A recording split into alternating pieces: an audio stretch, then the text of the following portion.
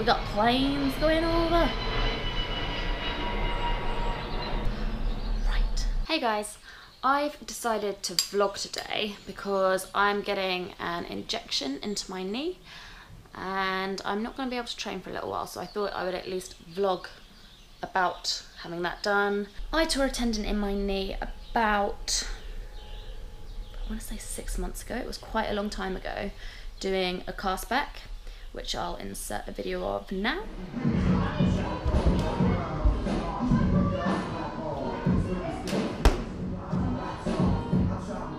It doesn't look like it was a particularly well, it was a bad landing, but it doesn't look like it would have torn a tendon in my knee.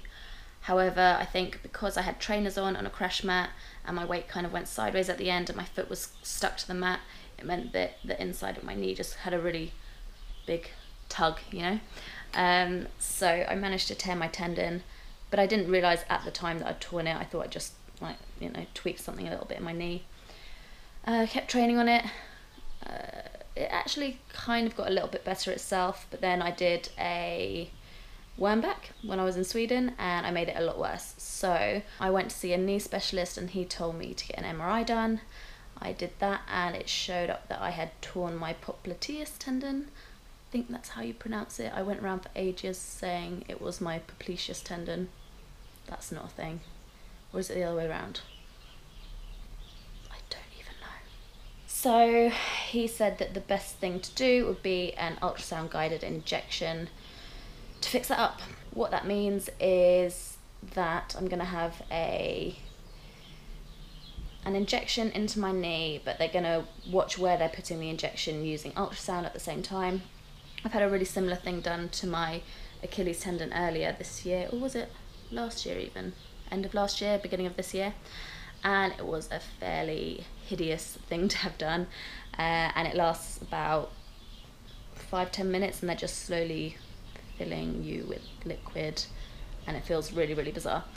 Anyway, I'm not massively looking forward to having that done, and I'm really not looking forward to having to take four weeks out of training.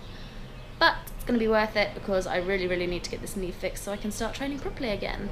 So that's the plan for today, and I've been filming for far too long already. Right now, I'm just on the way to the hospital with my lovely mummy who doesn't want to be in the video.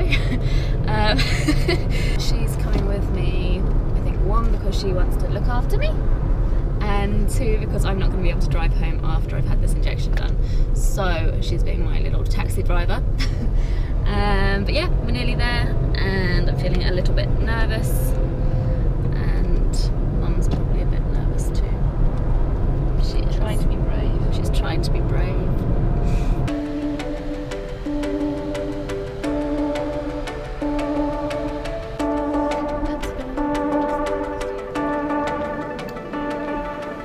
Actually, I should have shaved my knees. Yep, the one with the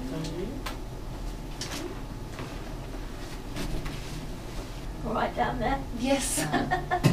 How long does this injection take?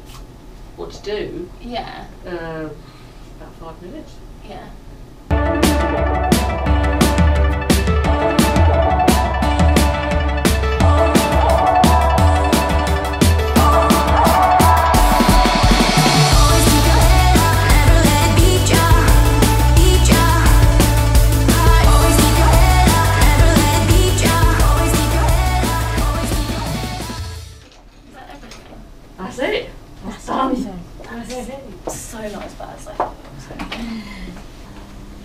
Lower you down. Yeah, it's pretty fine. Well done. Very good. Is he going to see you again? Did he say sort of six weeks or? Um, he hasn't actually said, but I will get in contact with him and Yeah. find out. Well, give it. I'll say give it. Give it sort of two to three weeks. hmm Well, I booked my work schedule off completely for a month, so Okay. I was thinking I'll No, just rest it as much as possible. Yeah, no, in that is time. brilliant. Yeah. No. Just as the plane's coming over. I always do that. I always start filming just when, just as the plane flies over. Literally right over my head. I'm really squinting those. It's really, really bright. Let's find somewhere else to film. Hello, Bella. I'm back from having my injection done now. It was actually not as bad as I thought it was going to be at all. It was nowhere near as bad as when I had the ultrasound guided injection in my Achilles. That was so much worse. This time I didn't feel like my whole knee was filling up with liquid. When I had my Achilles injected, I came away with like a huge ball of liquid on the back of my foot essentially and it was pretty grim but this was fine in fact when she'd finished doing the injection i thought she'd just finished doing the um what's it called the local anesthetic so i was like okay and like waiting for my next injection to be done she was like no that's it you're done i was like oh amazing um so yeah i'm just sitting here now got my leg up on a little cushion that's not helping at all it just you know makes me feel like I'm a patient. Now I'm just going to chill out for the rest of the day. I need to take it a little bit easy. But what's really good actually was the lady who was doing my injection said that she thinks I only need to take two weeks off from training. Um, but I've booked a whole month of work, so I'm probably going to take it pretty easy for the whole month because I want to give my knee the best possible chance of making a full recovery. So I'm definitely going to do nothing for the first two weeks. Well, nothing with my legs anyway. I might do some upper body stuff. Um, but then, yeah, after two weeks, I might be able to start some really gentle training again. So I'm quite happy about that. Now I'm just sitting here editing a vlog from my time in Argentina. And I'm gonna start looking into booking a holiday for me and Eric to go on, which will be really, really exciting because although we do a lot of traveling together, that's normally for training or for events or for work.